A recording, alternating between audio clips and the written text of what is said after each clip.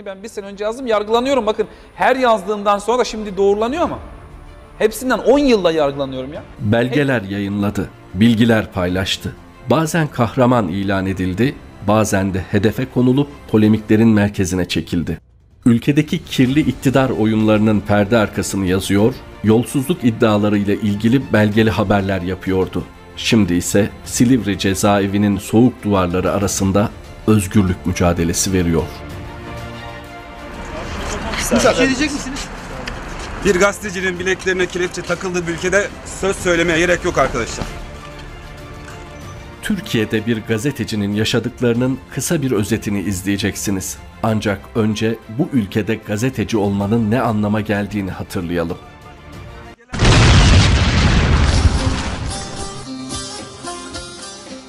Uğur Mumcu gazetecilik yaptığı ve inandığı doğruları anlattığı için evinin önünde otomobiline yerleştirilen bombayla katledildi. Bu sadece 90'lı yıllarda kalan bir katliam değildi. Musa Anter, Metin Göktepe, Ahmet Taner Kışlalı, Hrant Dink ve onlarca isim benzer saldırıların kurbanı olup hayatlarını kaybetti. Farklı aidiyetleri olan bu isimlerin ortak özelliği mesleklerini yaptıkları dönemde gerçeğin peşinde koşmalarıydı. Onların katledilmesinin perde arkasını araştıranlarsa ya susturuldu ya öldürüldü. Devlet Güvenlik Mahkemesi e, savcısı bu işi devlete karşı işlenmiş bir suç olarak nitelediğine göre kendine yönelik olarak e, işlenmiş bir terör suçunu neden failini bulmak istemez? E, belki de e, kendisi müdahil bunun içinde. Yani Türkiye gazeteciler için canları ve sevdikleriyle tehdit edildikleri bir yer oldu hep. Sadece gazeteciler değil, toplumda provokatif saldırılarla disipline ediliyor, karanlık iktidar oyununun perde arkasındakileri ise kimse bilmiyordu. Ee, bana gelirler siz bunları nereden buluyorsunuz bu belgeleri? Bir kısmı da efendim sen CIA ajanı mısın? KGB ajanı mısın? Ya da MIT ajanı mısın? Bunları nereden biliyorsun? Çok basit. Eğer bir dava dosyası çok ciddi okunursa bütün belgeler orada vardır. Benim kaçakçılık konusundaki araştırmalarım son 20 yılın kaçakçılık dosyalarına dayanıyor ama bunları okuya okuyor gözümün derecesi arttı, gözlüğümün derecesi arttı. Bu kısa hatırlatmanın ardından Mehmet Baransu'nun hikayesine dönelim. O 1994 yılında mesleğe başladığında Uğur Mumcu'nun yöntemini benimseyecekti. Yani işte ben gözlük kullanmıyordum. İddianame okuya okuya okuya okuya okuya okuya yani gerçekten gözlerim bozuldu. Türkiye'nin doğusundaki Kars ilinde doğmuş, Erzurum'da lise öğrenimini tamamlamış ve İstanbul Üniversitesi İletişim Fakültesinde gazetecilik eğitimi almıştı. Türkiye'nin en saygın televizyon haber programı 32. günde başladığı kariyer yolculuğunuysa yine ülkenin en çok gündem belirleyen gazetelerinden tarafta devam ettirmişti. Bundan daha ziyade bence şunun üzerinde durması gerekiyordu insanlar. E, Hrant Dink cinayeti bir planlı bir cinayetti ve Hrant Dink cinayeti aslında 2007-2008'de yapılacak darbenin öncesinde planlanmış ve Türkiye o kaosa sürüklen bizim bildiğimiz 80-70-60'daki e, sürecin ilk e, işaret fişeğiydi. Genç, iddialı, hepsinden önemlisi haber ve konuşmalarını belgelerle destekleyen bir gazeteciydi Baransu. Onun gazetecilik motivasyonunun temel kaynağı ise 90'lı yıllarda ülkenin yaşadıklarıydı. Haber peşinde koşarken sorularının merkezinde o yılların faili meçhulleri vardı. Siyasal iktidarları pençesine alan askeri vesayet rejimini sorguluyordu varsa bugün gazetede yazdım. Yani arkadaşlar yoksa yani 40'ın üzerinde haber yaptım. Fazlasıyla fazla işte işte soruyla başladık belgeyle bitirdik diye manşet attım. Bakın şu son belgedir. Dağlıca baskınının 9 gün önce bilindiğine dair bakın baskını yapacak adamın ismi bile var. Ve bu nereye gidiyor? Dönemin Genelkurmay Başkanı Yaşar Büyükanıt'a kadar gidiyor bu belge. Kara Kuvvetleri Jandarma diyorlar ki Dağlıca'yı yakın zamanda basacaklar ve şu PKK'lı timin başındaki adam basacak diyor. Ve basılıyor 9 gün sonra.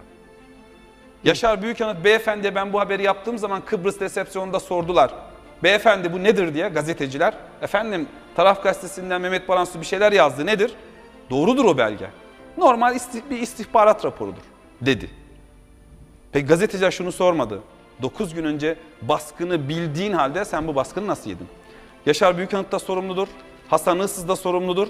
Türkiye bu insanları yargılamalıdır. Elazığ'da bir komutanın nöbette uyuyan ere ceza olarak pimi çekilmiş el bombasını vermesi sonucu patlama yaşandığı ve 4 askerin şehit olduğu Mehmet Baransu'nun 2009 yılında yaptığı haberle ortaya çıkmıştı. Halbuki o erlerin kazayla öldüğü yalanına ülke çoktan inanmıştı. Ona söyledi elinde bomba patlamış dedi. İşte böyle böyle işte başıma yıkıldı işte ben. 17 Ağustos günü Elazığ'da şehit düşen 4 askerle ilgili gelen haberler işte tam da bu yöndeydi. Kazaydı, el bombası patlamıştı ama nasıl patladığını kimse bilmiyordu. O gün mevzide yaşananları Taraf gazetesi bugün şok bir haberle manşetine taşıdı. İfade tutanaklarına dayanan habere göre 4 askerin şehit olmasıyla sonuçlanan olay kaza değil, tim komutanının bir askeri cezalandırma yönteminin sonucuydu. Türkiye'nin öğrendiği gerçekler bu haberle sınırlı kalmamıştı. Baransu, Türk Silahlı Kuvvetleri'ndeki pek çok komutanın içinde yer aldığı balyoz darbe planını yazdı. Belgelerini paylaştı. Ülke ilk kez belgelerle bir darbe hazırlığını öğreniyordu. Bu durum taşları yerinden oynattı derken fatura yine bir gazeteciye çıkarıldı. Efendim bir şeyler söylemek ister misiniz? Arkadaşlar. Arkadaşlar siz siz olun gazeteci olarak belge teslim etmeyin adliyeye.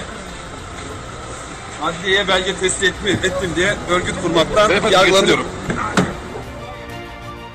Baransu sadece devletin derinliklerindeki bilinmeyenleri değil, çok ciddi yolsuzluk iddialarını ve toplumsal meseleleri de gündeme taşıyordu. Futbol kulüplerindeki şike iddialarını yazıyor, halkın sağlığını tehdit eden genetiği değiştirilmiş gıda skandalını ortaya çıkarıyordu. Önce gizemli bir gazeteci algısı öne çıktı ama bu uzun sürmedi. Baransu haberlerinde kimliğini saklamadı, yazdıklarının arkasında durdu.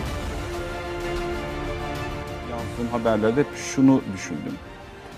Ee, yani yarın eğer bu mağdur olan insanlar, hayatını kaybeden insanlar, e, öte tarafta benden eğer hesap sorarlarsa, şu anlamda hesap sorarlarsa, sen bu gerçekleri biliyordun ve korkarak bu gerçekleri yazmadın diye ben benden hesap sorarlarsa ben onlara ne cevap vereceğim? Ee, bu hep böyle aklımda olan, hep düşündüğüm e, ve e, haberi yaparken de kendimi onların yerine koyduğum bir olaydır. Ee, biraz da artık yani o psikolojiyle işte mecbur da hissedip kendinizi gazetecinin de zaten genel aslında yapmamız gereken olması gereken şey bence hani e, bu. O yıllarda Baransu'nun bu haberleri yapabilmesinin ve toplumda karşılık bulmasının en önemli sebebi siyasal atmosferdi. Avrupa Birliği ve Türkiye'deki pek çok kesim AK Parti hükümetlerinin demokrasi ve hukuk adına önemli adımlar attığını düşünüyor, yetmez ama evet sloganıyla destek veriyordu. Uzun yıllardır ülkede can kayıplarına sebep olan Kürt meselesiyle ilgili çözüm arayışları hızlanıyordu. Ümit dolu bu atmosfer çok uzun sürmedi. 29 Aralık 2011 sabahı Şırnak Uludere'den gelen haber hem ülkenin hem de gazeteci Mehmet Baransu'nun hayatındaki dönüm noktalarından biri oldu. O gece Kürtçe adıyla Roboski'de Türk Silahlı Kuvvetlerine ait F-16 uçakları terörist diye bir kaçakçı grubunu bombaladı. 34 Kürt vatandaş hayatını kaybetti. Bu olayın sorumluları kimlerdi?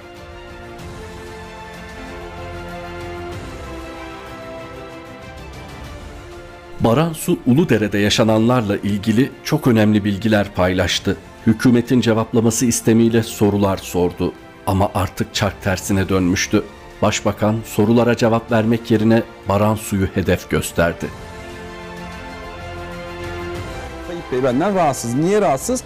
Şimdi 17 Aralık'tan dolayı rahatsız değil. Tayyip Bey'in benimle rahatsızlığı 2011'den beri başladı. Hatırlıyorsan 2011'de Uludere baskını vardı. 34 tane insan orada e, vefat etti, öldürüldü.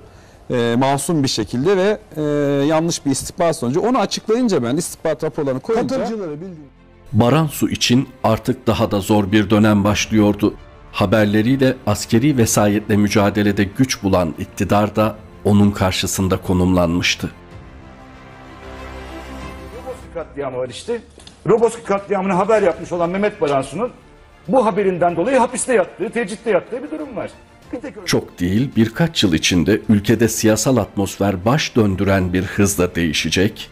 Mehmet Baransu'nun yayınladığı belgelerle yargılanan Balyoz ve Ergenekon davası sanıkları serbest kalacak. Yolsuzluk iddialarının merkezindeki hükümetle samimi pozlar vereceklerdi. Ve yıllardır yalanlanmayan belgelere bir anda sahte denilerek Mehmet Baransu için soruşturma başlatılacaktı.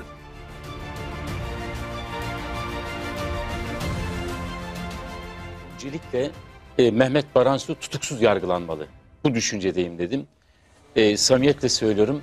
E, arkadaşlarım tümü bunu söyleme dediler. E, biraz o yaşasın orayı dediler. E, toplumda böyle bir duygu var. Yani onu hissettim insanlarda. Tüm ama istisnasız.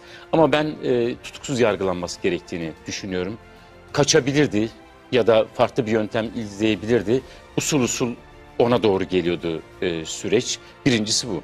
İkinci e, dileğim adil yargılanmasını diliyorum. Herhangi bir haksızlıkla e, neyle suçlanıyorsa onları görebilmeli diye düşünüyorum. Bizim yargılandığımız süreç içinde Baransu pek çok belgeyi açıkladı, pek çok olayı açıkladı.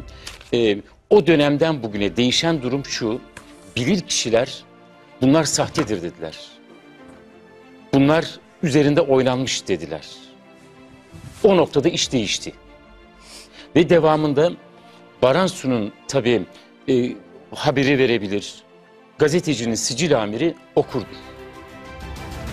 2 Mart 2015'te tutuklanan Baransu cezaevinde işkence gördü. Adliyede savunma hakkı engellendi. Tam 5 yıldır hakkındaki iddianamelerin içinde hiçbir belge ve somut bilginin olmadığını demir parmaklıklar ardından ispat etmeye çalışıyor. Yüzsüzlüğe tahammül etmeyeceğim tabii ki. Yani sen darbeye hazırlık yapıyorsun. Yakalanıyorsun.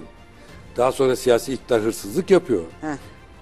Sen yıkmak istediğin iktidarın paçasının arkasına saklanıyorsun o hırsız diye. O da senin arkana saklanıyor. Koyun koyuna giriyorsunuz. Bu yetmiyor.